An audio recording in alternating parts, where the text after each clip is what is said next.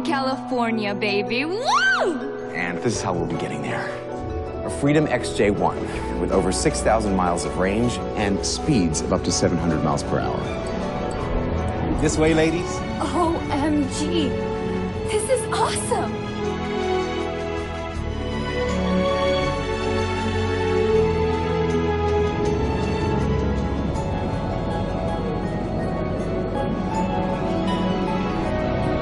This is like a dream.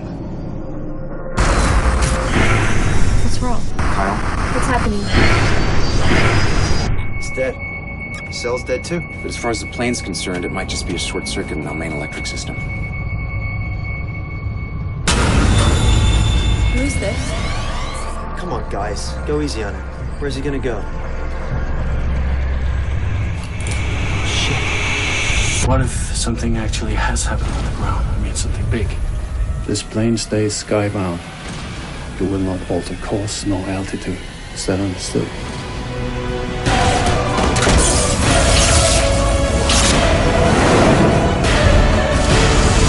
Holy shit.